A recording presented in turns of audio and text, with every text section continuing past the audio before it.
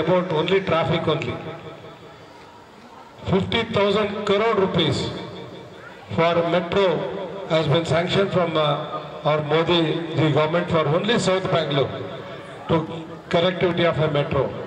Whatever the metro work is going on now, after six months, metro connectivity will be start from Silpur to KR Puram, Kyarpuram to Hebbal, Hebbal to International Airport. That, that will be completed in 2024 December. Already work has been started, 40% work has been completed, under 60% work is balanced. You know the COVID, last two years back, at the COVID time, our Honorable Prime Minister served the country in a family, like a family, he served the country.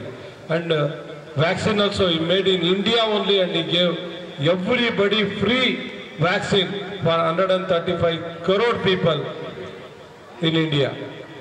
You know about the Britain, you know about the America, but that country has collected money for the vaccine also.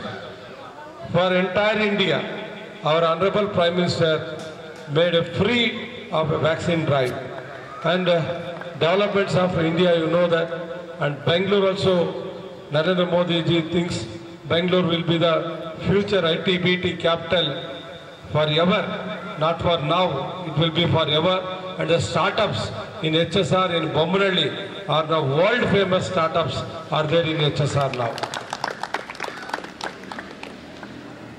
Before 2008, no roads were connected in Bommanalli. Every roads was jelly roads. In Bilekalli ward only, this apartment will belong to the Bilekalli. You know the development last from 2008.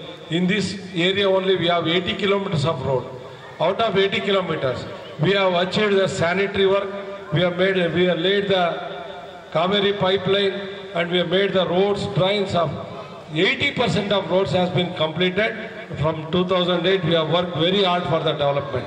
In entire Bommanahalli constituency, we have 750 kilometers of road.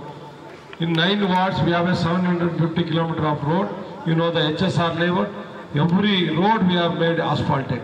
And uh, we have made before this apartment, you know that uh, every water, drop of the water, if rainfall happen in uh, uh, or in uh, every waterfall, it was coming like this uh, to the collected of our Madiwala lake. Now we made a very big drain. On drain only we made a road and now we asphalted road also has been done now. So developments is going on in Bommanahalli. My request is, who are staying in SNN Raj, Lakeview and surrounding apartment, please come out and vote.